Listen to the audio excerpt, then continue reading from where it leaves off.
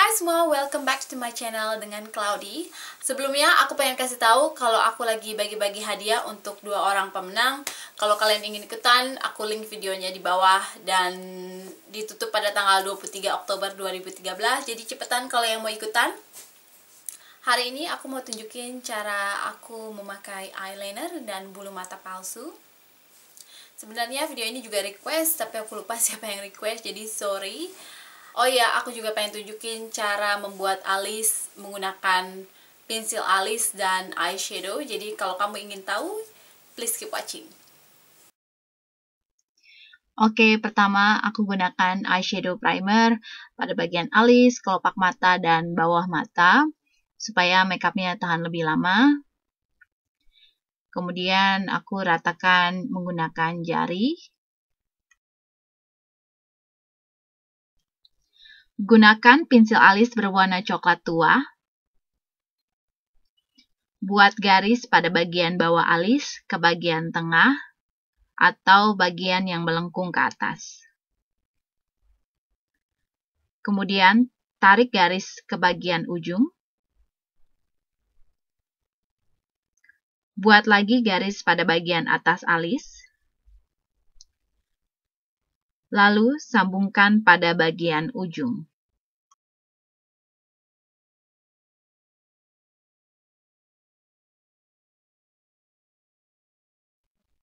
Ambil eyeshadow berwarna coklat atau kamu bisa menggunakan warna coklat tua. Kemudian isi pada bagian dalam alis.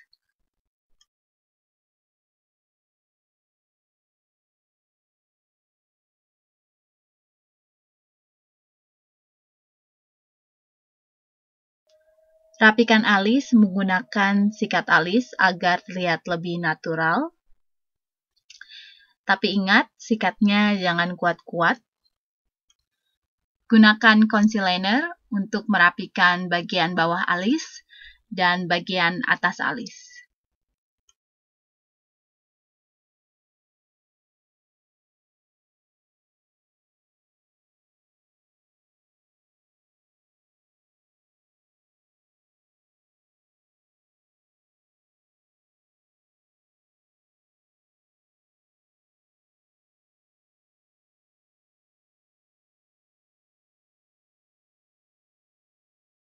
Untuk eyeliner, aku menggunakan gel eyeliner berwarna hitam.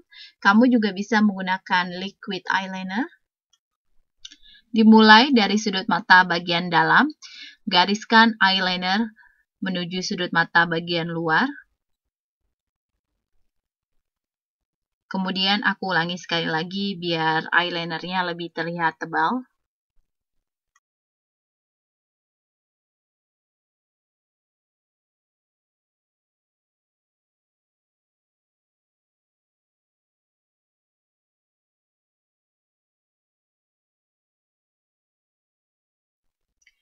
Tarik garis ke atas pada bagian ujung sudut mata. Kemudian tarik garis lagi ke bawah, hubungkan pada garis eyeliner.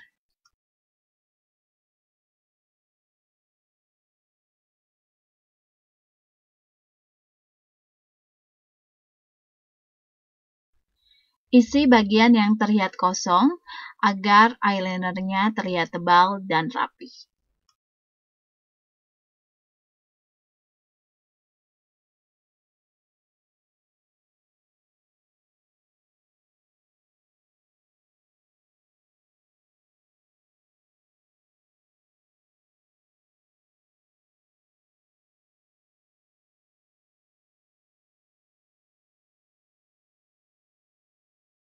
Jepit bulu mata sebelum menggunakan maskara.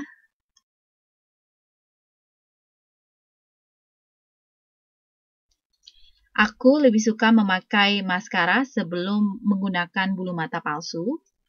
Tapi jika kamu ingin menggunakan dua atau tiga bulu mata palsu secara bersamaan, lebih baik uh, memasang bulu mata palsu terlebih dahulu, baru menggunakan maskara.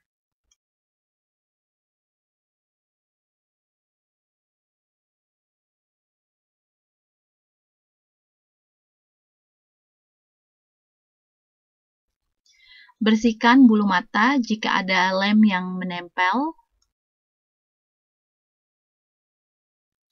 Kemudian beri lem pada bulu mata.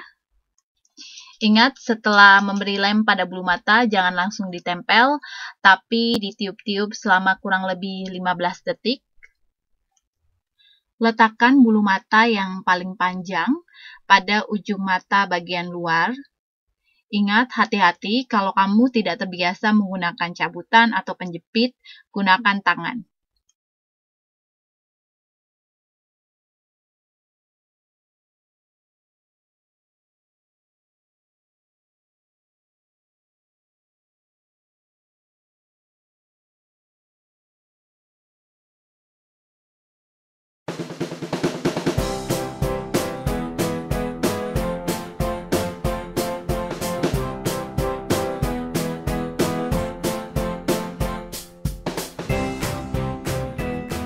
Jangan lupa jika ada pertanyaan atau request, komen di bawah.